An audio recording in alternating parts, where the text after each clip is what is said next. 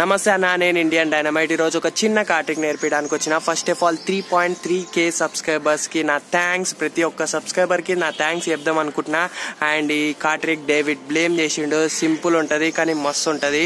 First performance చూద్దాం ఆ తర్వాత ట్యూటోరియల్ నమస్తే అన్న ఇది పర్ఫార్మెన్స్ ఫస్ట్ కార్డ్స్ అన్ని షఫుల్ చేసేద్దాం.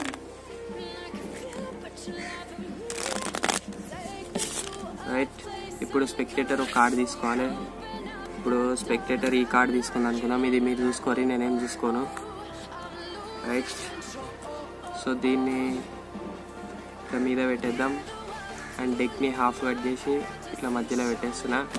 మొత్తం మిక్సప్ అయిపోయింది. ఇప్పుడు నేను మీ కార్డ్ని ఫైన్ చేస్తాను అనమాట రైట్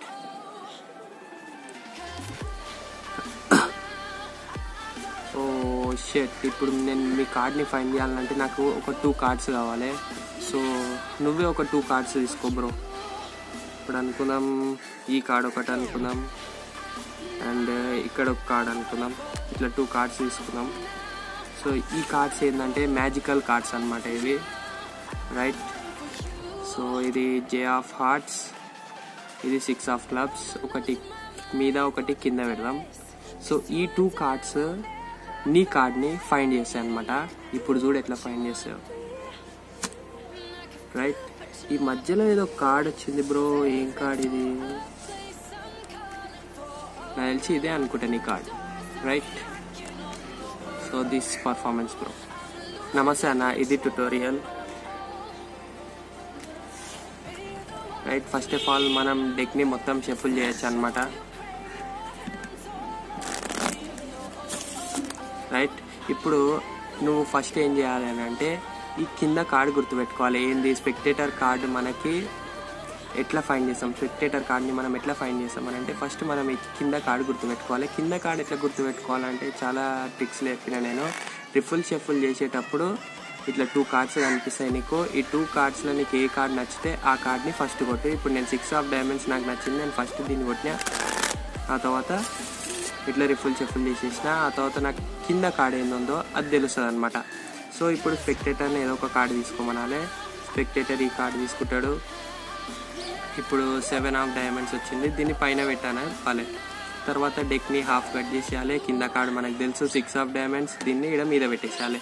ఆ తర్వాత నువ్వు స్పెక్టేటర్ కార్డ్ని ఫైన్ చేయాలన్నమాట. Six of six of diamonds కింద ఉండేదే spectator card seven of diamonds so దీన్ని నువ్వు సప్పుడు దాకా తీసుకొని కింద పెట్టాలన్నమాట.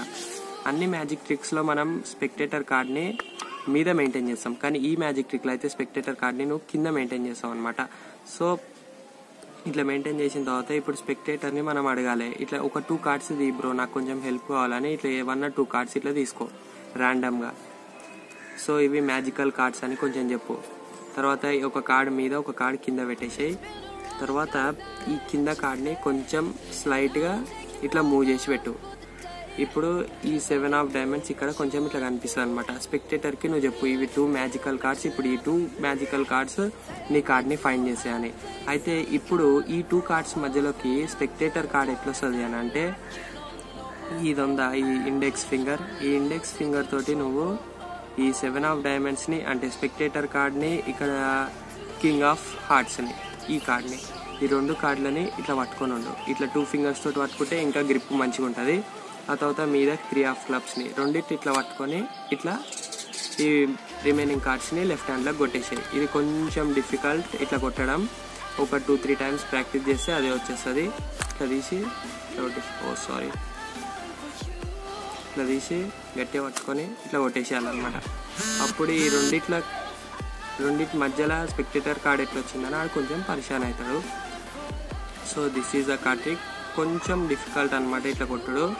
కానీ ప్రాక్టీస్ చేస్తే వచ్చేస్తుంది బ్రో థ్యాంక్స్ ఫర్ వాచింగ్ నమస్తే అన్న. చూసావు కానీ లైక్ కొట్టావు నేర్చుకుంటావు కానీ షేర్ చేయవు. ఇదేందన్న ఇట్లా సో ఏమైనా కొత్త కొత్త కార్టిక్స్ కావాల్సి వస్తే సబ్స్క్రైబ్ చేసి పెట్టుకో. నేను ఇంకా అప్లోడ్ చేస్తూనే ఉంటాయి ఇట్లాంటి వీడియోస్ అండ్ షేర్ చేయడం అయితే మర్చిపోకు bro and subscribe right bye